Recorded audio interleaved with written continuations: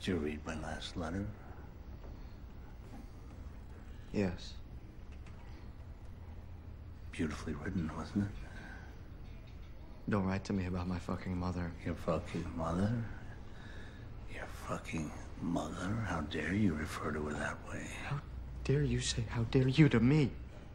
But let me rephrase it. Don't fucking write to me about my mother. It only makes you sound childish using profanity like that. Sorry, you don't get to patronize me, okay? You don't get to pretend to be my father, and you don't get to write about my mother. In fact, stop writing me at all. Stop writing me letters. You should save them. They'll be worth money someday. I, I have saved them, actually. I have over a hundred. That's enough. You've saved them. Good. You bring liquor in here again, you're barred. End of story. Eno the Beano tells me you're into drugs. Who the fuck is Eno the Beano? How would he know that? Everybody knows. Word's out. You know, if so, good luck to you, but don't waste your talent.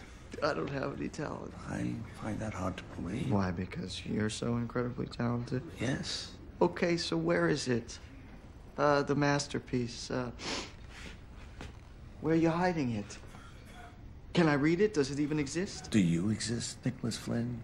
Do you even know? I, Jonathan Flynn, exist. I know that much. Jonathan Flynn exists. Shut the fuck you up! shut the fuck up, or my son will evict you!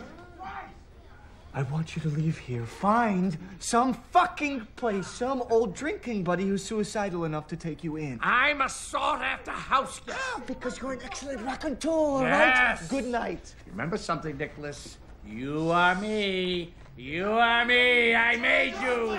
You are me. I am not you. I am not you. Yes, you are. Go to Florida.